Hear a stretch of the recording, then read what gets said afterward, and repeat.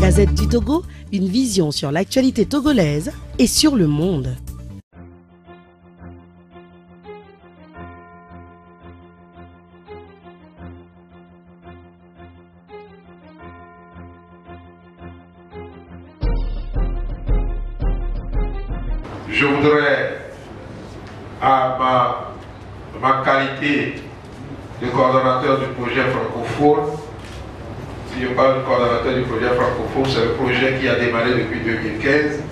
Avec euh, l'IBB et qui continue et qui s'est euh, transformé en projet francophone aujourd'hui coordonné par le BCPA dont je, suis, je fais partie de l'équipe de coordination.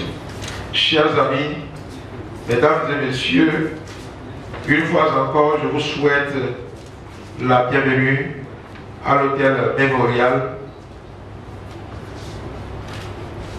c'est une occasion pour nous que cet hôtel a connu presque dans la même période, octobre-novembre de l'année 2016, le lancement de la réflexion qui, bien entendu, a commencé il y a longtemps sur la mise en œuvre du processus de travail en réseau. Monsieur le directeur général de Sogia Sato, Agence Togo, Monsieur le représentant de la Direction générale des FAGE, Mesdames et Messieurs représentants des partenaires ici présents, Monsieur le vice-président de l'International du bois et bâtiment, Monsieur le secrétaire exécutif du Comité européen des entreprises,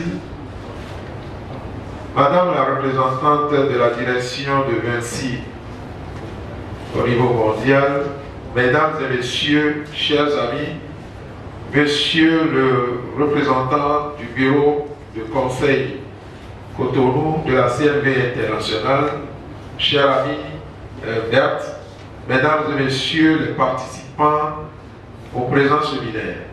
Comme le disait une partie de nos slogans liés à notre libre national, libre togolaise, on dit sentinelle, que dis-tu de la nuit La nuit est longue, mais le jour vient. Tel est l'engagement du slogan que les Togolais emploient. Chaque fois qu'il y a une lutte, il y a des, des actions à faire. Et chaque fois que l'action dure dans le temps, c'est que le sentinelle a l'espoir que le jour viendra. Chers amis, participants, mesdames et messieurs les représentants des employeurs du secteur du bois de la construction, du groupe Vinci et EFAGE, la nuit a été longue, ben, le jour commence en fait à apparaître.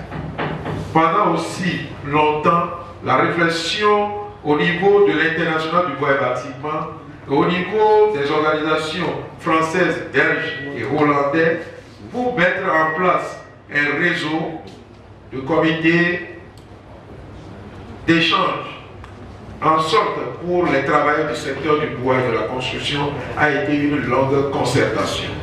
Enfin, nous avons entamé le processus. Et je voudrais ici, à ma, qualité du secrétaire général de la Fédération des travailleurs du bois et de la construction et de coordonnateur, remercier les différents partenaires qui ont accepté faire ces concertations et qui ont accepté être parmi nous aujourd'hui pour lancer ce début de processus. Je dis bien c'est un début de processus parce que le chemin à parcourir est encore long. je pense que la volonté de nous concerter, de négocier et de dialoguer pour la promotion des droits des travailleurs et bien entendu pour la rentabilité de l'entreprise dans un esprit de concertation et de développement économique est un engagement pour nous tous. Je voudrais sur ce pas pour ne pas être aussi trop long, Monsieur le directeur général des FAGE Togo, Monsieur le directeur général de Vinci, Monsieur le secrétaire exécutif du comité européen, Monsieur le vice-président, Madame la représentante des partenaires de CFTC, bâtiment construction, Madame la représentante de la direction de Vinci, M. Berthe, représentant de la CRB internationale, nous dit que une fois encore, nous avons lancé le début du processus et que nous comptons ensemble mener la lutte pour un engagement pour le bien de, de nos entreprises et le bien de tous les travailleurs qui y travaillent. Je vous remercie.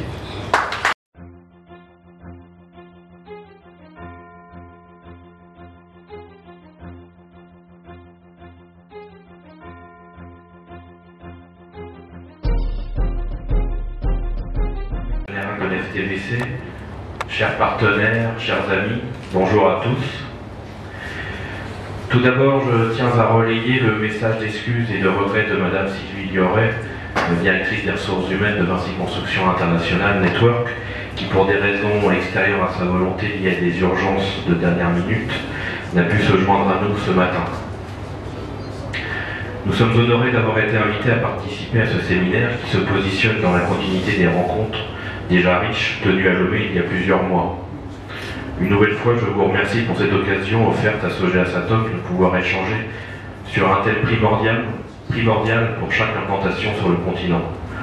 En effet, Sogea Satom est aujourd'hui implanté dans plus de 25 pays en Afrique, francophones, anglophones ou hispanophones, au nord, au sud, à l'est et bien sûr à l'ouest du continent.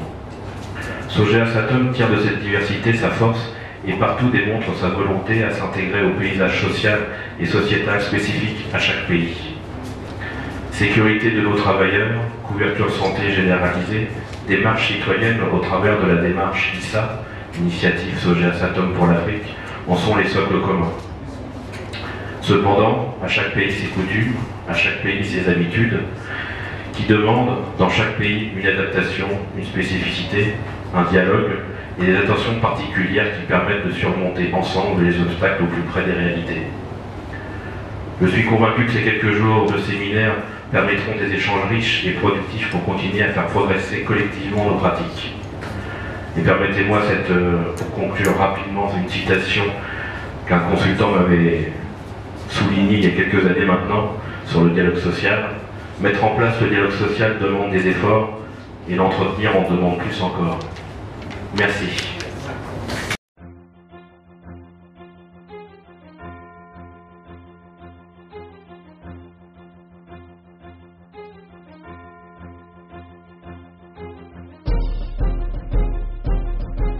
à remercier l'ensemble des partenaires qui nous ont permis, enfin qui nous permettent de tenir ce, séminaire aujourd'hui, euh, à savoir euh, Monsieur le directeur général de SOGS Atom, Jean du Togo, merci euh, de, permettre euh, la tenue de cette réunion. Merci également à la représentante euh, de Vinci avec qui on a également travaillé pour organiser euh, ce séminaire. Merci aux représentants de la CNV qui nous permet par son implantation au niveau local d'organiser ce séminaire du mieux possible.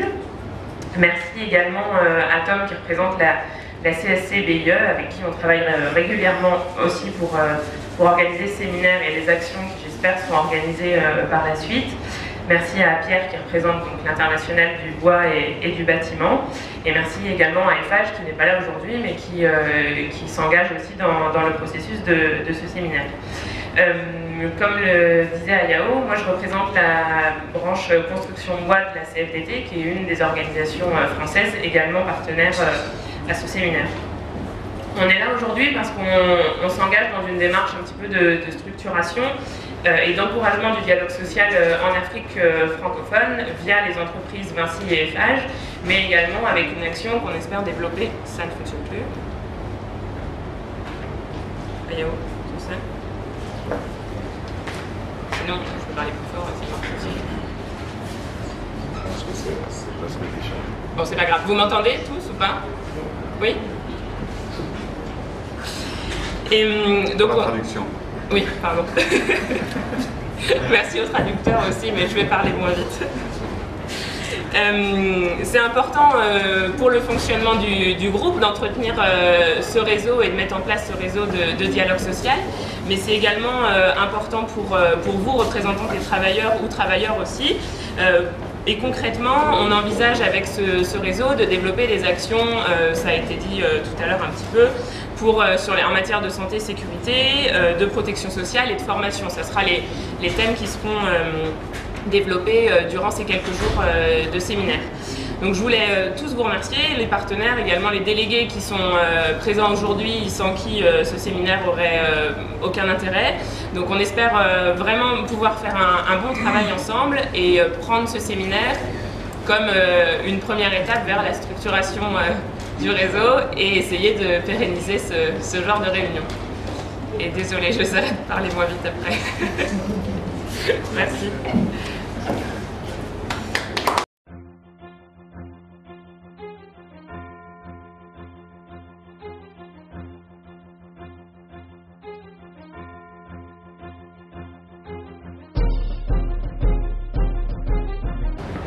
Oui, euh, bonjour à toutes et à tous. Euh, il y a des amis que je connais depuis l'année dernière ici, il y en a que je découvre. Euh, j'anticipe un peu sur mon intervention euh, ce matin parce que je n'étais pas programmé initialement ce matin. Je me présente pour ceux qui ne me connaissent pas. Je m'appelle Noureddin Oudjiniba. Je suis secrétaire du comité d'entreprise européen de Vinci. Euh, j'appartiens au syndicat réformiste que vous entendez dans les médias qui s'appelle la CFDT, là où il y a le dialogue, où il y a la concertation, où il y a le respect mutuel, où on se parle et on se dit les choses. Euh, autre chose, je suis euh, dans le groupe depuis une trentaine d'années. J'ai exercé, beaucoup de métiers, de, pas de métiers, je suis chef de chantier de métier, mais beaucoup de mandats syndicaux euh, dans le domaine du dialogue social et dans surtout la sécurité où ça tient à cœur beaucoup de sur la santé et la sécurité au travail. Euh, voilà, je suis euh, marié, père de cinq enfants, deux avec la première femme et trois avec la deuxième. Et vous voyez que je suis un peu africain moi aussi. Hein. Bon, mais j'arrête la troisième, j'avais 203. Mais je... voilà. Je suis très heureux d'être parmi vous, parmi les collègues du groupe du continent africain. J'ai la chance d'être ici pour évoquer euh, euh, avec vous des sujets à mes yeux très importants sur la santé et la sécurité au travail. Ces thèmes, nous les, évoquons euh, dans notre quotidien professionnel, dans nos entreprises et surtout dans nos postes de travail à travers les sociétés du groupe et dans tous les lieux où se trouve Vinci. Nous avons travaillé longuement avec la, DRH au niveau d'une charte au niveau de l'Europe que je souhaite partager avec vous, parce que c'est très important pour moi. Je ne fais C'est très important. Ça marche ou pas? Non Non? Pas Je peux. Ouais, tiens, je te les j'étais dans le gratuit. Tu dois, tu dois hausser, hausser, le ton. Je vais hausser le ton et je vais parler doucement par rapport aux interprètes. Euh, je, connais un peu la difficulté pour les gens qui vont très vite, comme l'a fait Pauline à côté de moi, mais je vais essayer de la débrancher un peu pour qu'elle parle doucement. Je vais essayer de faire de même. Euh, je dis que nous avons travaillé euh, avec le comité d'entreprise européen de Vinci sur des thèmes très importants concernant la santé et la sécurité et on a travaillé pendant pratiquement 4 ans. Pour moi, le comité européen, et cette instance, il n'y a pas de différence. La santé et la sécurité au travail n'ont pas de frontières. N'a pas de discrimination. Le, but, c'est la, la, même chose. Nous devons aller tous travailler le matin et quand on revient, on doit revenir en bonne santé. Nous ne devons pas nous exposer.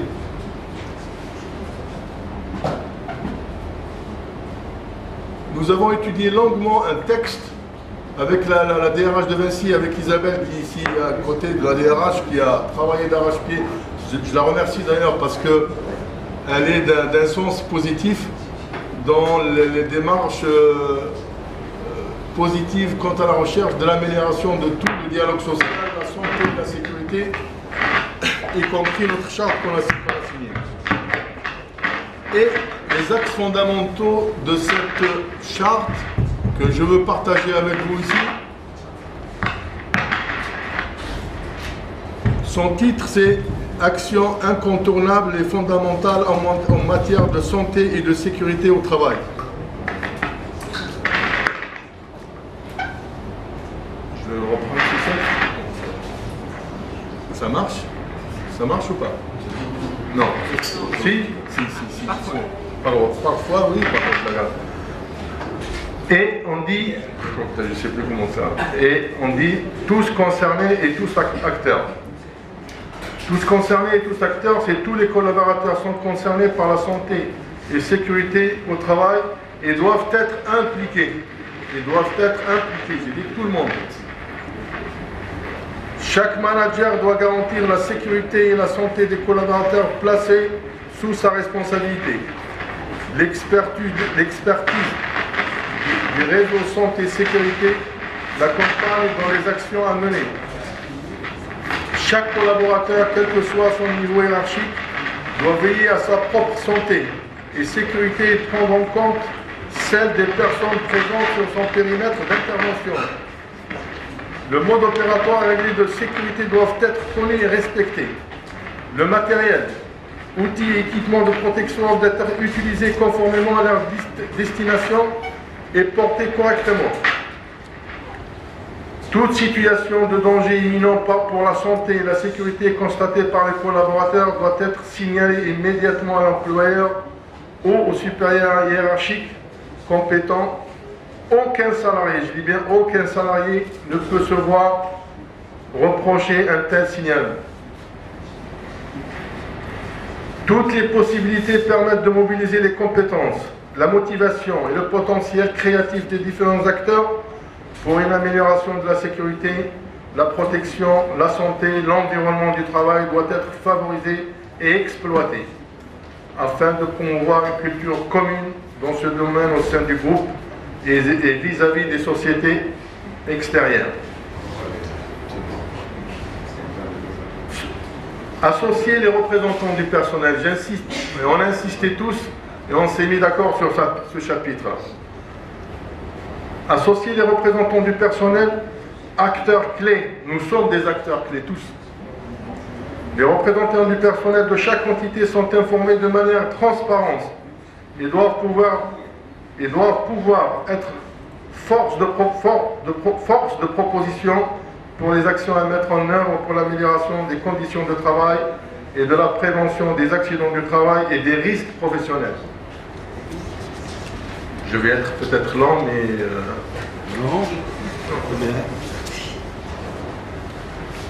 Les actions fondamentales et incontournables, mes chers amis, ça, il faudrait que, il faudrait qu'on les, les enregistre vraiment et, et les mettre en pratique. L'analyse des risques. Premier point. Deuxième point, l'équipement de protection. Troisièmement, la les procédures, mode opérationnel et organisation du travail. Quatrième point, la sensibilisation et formation à la sécurité. L'analyse des risques.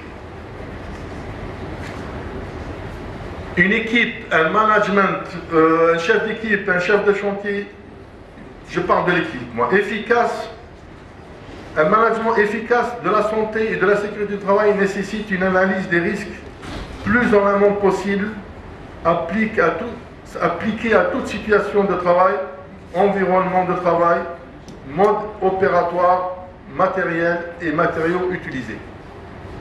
Ça, c'est l'analyse des risques. L'équipement de protection. Deuxième point. Chaque entité fournit gratuitement à ses collaborateurs et des équipements de protection individuelle adaptés. Vous savez, les gens qui vont travailler dans les centrales nucléaires, ce pas les mêmes qui font le, béton ou l'enrobé sur les routes. C'est des équipements euh, spécifiques à chaque, métier. Hein. On ne dit pas on, met la, même veste ou les, mêmes équipements pour tous les métiers. Parce que Vinci, c'est du contracting, c'est de l'aéroportuaire, euh, c'est de la concession routière vous comprenez bien qu'un un, groupe de 200 000 salariés euh, dans 110 000 en France et les, 90 000 à travers le monde. Comme il dit M. Chevalier, il y a 25 sociétés en Afrique pour Sodiasatom. C'est énorme. C'est énorme et plusieurs métiers, ça va de, des travaux spéciaux au, bon dans, des altitudes très importantes. Voilà, je vous laisse imaginer euh, les, équipements de protection individuelle pour chaque personne, pour chaque métier, pour chaque euh, lieu. Voilà, ça c'est le deuxième point. La procédure, les procédures, mode opératoire et organisation du travail. Les procédures et modes opératoires intègrent les mesures de prévention issues de l'évaluation des risques. Les entités du groupe mettent en œuvre une organisation de travail favorisant la sécurité et la protection de la santé de leurs collaborateurs. Euh, je viens aussi maintenant au point numéro 4, la sensibilisation et formation à la sécurité. Il est de la responsabilité de chaque entité pour assurer le niveau de protection adéquat, favoriser la prise de conscience de tous les acteurs en les informant sur les risques liés à leur activité et sur les mesures requises pour réduire ou supprimer ces risques. Les collaborateurs sont formés pendant leur horaire de travail à la sécurité et la santé au travail, en spécifiant les structures et explications liées à leur poste ou leur mission. Une vigilance particulière est portée à la nécessaire compréhension des consignes de sécurité pour chacun des intervenants sur les lieux de travail. Je, crois que j'ai pris beaucoup la parole. Je vais, je sais pas si je vais, je continue ou, je fais la conclusion complète.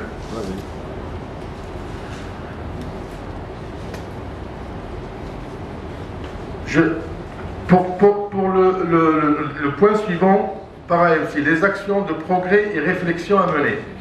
La prise en compte de tous les intervenants, sur les sites. Vous savez que l'objectif, la direction de Vinci,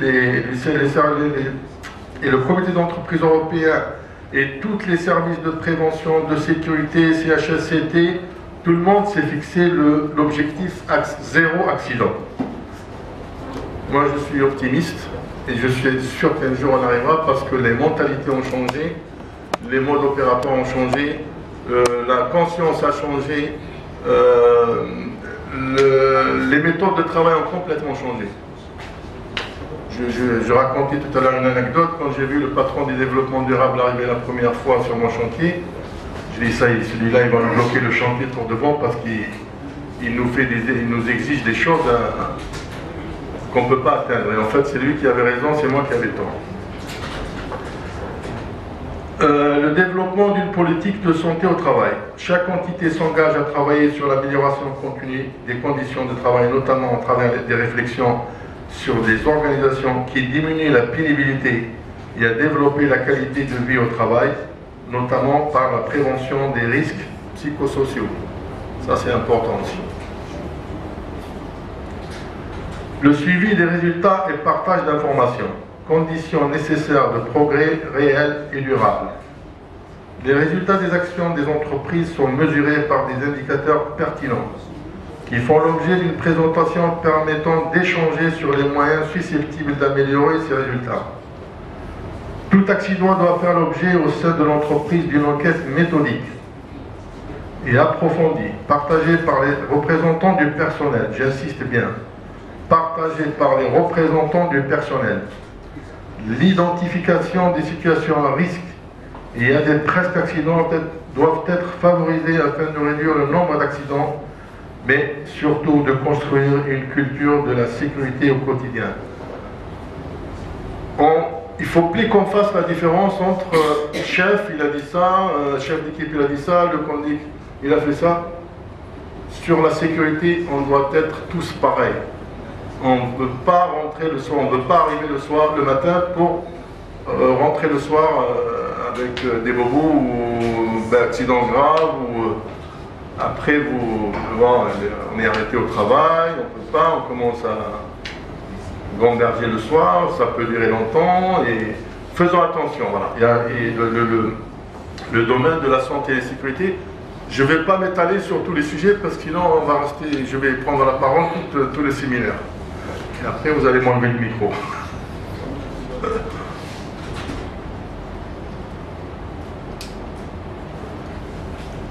Je crois que je vais m'arrêter là. Je vais faire une conclusion. Si vous avez d'autres questions à me poser, je suis à votre disposition. Pour ceux qui ont des mails, ils peuvent me contacter aussi par mail. Et on pourra travailler ensemble sur l'amélioration de la santé et la sécurité au travail. Je vous donnerai des pistes sur lesquelles on travaille en France, sur les différentes instances qu'on a euh, dans, France euh, électifs comme des, désignatifs au niveau de la sécurité. il ne faut pas lâcher la, pression. Il ne faut pas lâcher la pression sur la sécurité parce que c'est un sujet très important. Et en conclusion, je vous demande d'être tous impliqués. Tous impliqués et faisant de ce séminaire une réussite. Une réussite du présent il faudrait qu'on réussisse notre rencontre. Il faut qu'on sorte avec quelque chose, des engagements. Et en même temps, se projeter dans l'avenir, se projeter pour voir qu'est-ce qu'on doit faire par la suite pour pérenniser euh, ces rencontres, pour euh, que notre chemin ne s'arrête pas là. Vous pouvez compter sur moi, je suis à votre disposition. Je vous remercie. Je donne la parole à Et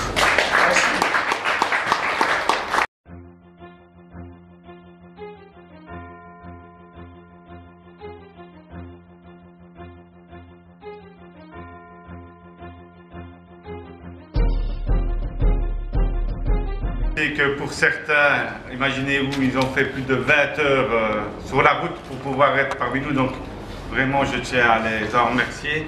Hein, c'est pas, pas évident, donc euh, encore un grand merci par rapport à cela. Euh, saluer tout le monde en leur titre et qualité. Monsieur le directeur, je pense la première fois qu'on a l'occasion de se rencontrer. À mon avis, ce ne sera certainement pas la dernière, et donc on aura encore l'occasion certainement de pouvoir communiquer. Et je suis heureux que normalement vous aurez la possibilité d'être parmi nous pour la conclusion de notre séminaire et un peu entendre euh, le travail qui aura été effectué ici euh, pendant les, prochains jours. Alors, Vinci et Fage, ben, ça on a quelques délégués de, de, ici. On devait avoir aussi la, je pense, directrice euh, au niveau de, de, l'agence du Togo pour FH, mais je ne sais pas si tu as des nouvelles, Ayao Oui, je vais, je, vais, les contacter tout de suite. Ouais.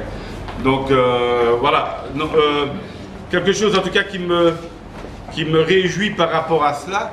Rappelez-vous, il y a un an d'ici, euh, on avait des éléments qui nous disaient que Vinci ne désirait pas trop se retrouver en présence des phages, ce qu'on pouvait peut-être comprendre. Renseignements pris et discussions prises auprès de, de Vinci Paris avec M. Mougère, ce n'est pas le cas. Donc je pense que tout le monde a gagné là-dessus, que ce soit euh, euh Vinci, mais euh, certainement également EFAGE et l'ensemble des, partenaires, que ce soit au niveau de la direction ou... EFAGE, vous êtes en face de Vinci. voilà, bienvenue. Euh, que ce soit au, niveau de, de, ou de Vinci, que ce soit au niveau de la direction ou au niveau évidemment des travailleurs. Alors, Monsieur euh, Chevalier disait tantôt dans son discours d'introduction que à chaque pays sa coutume et son fonctionnement.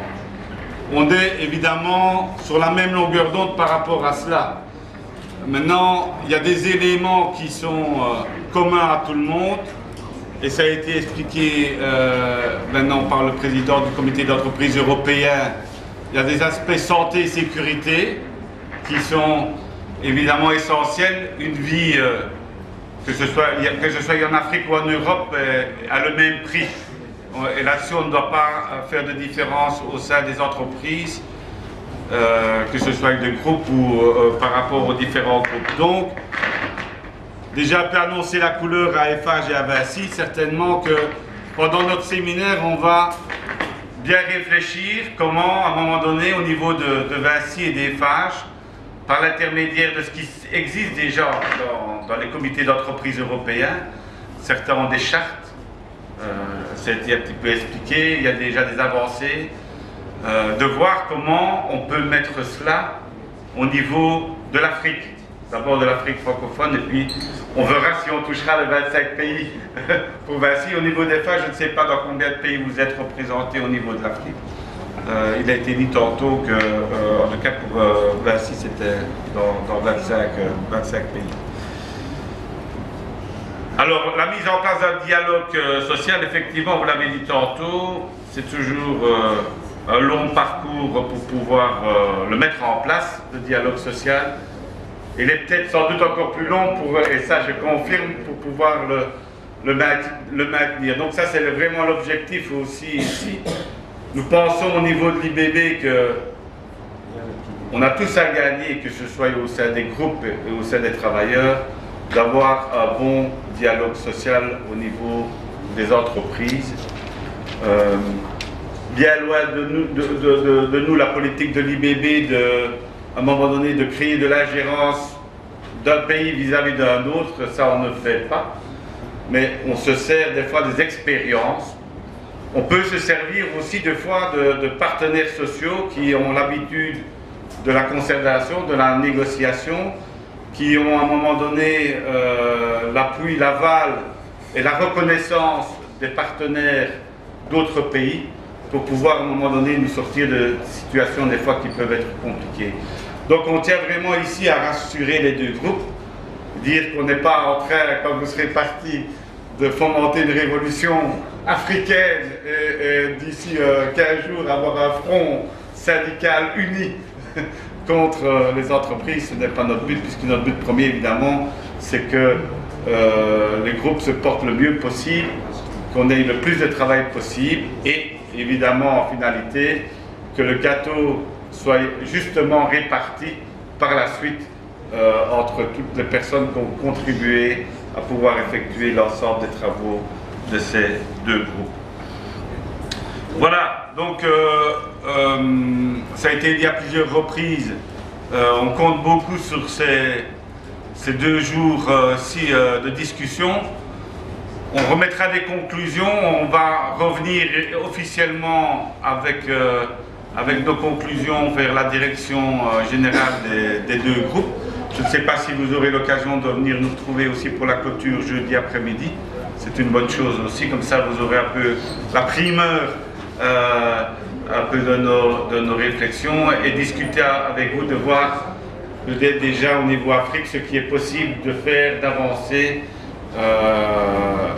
que ce soit de notre côté ou du vôtre. On a en tout cas l'occasion ici d'avoir différents partenaires qui sont prêts à s'investir de différentes manières pour que cela soit euh, réalisable. Donc voilà, un bon séminaire à tout le monde et je vous remercie encore de votre présence euh, aujourd'hui.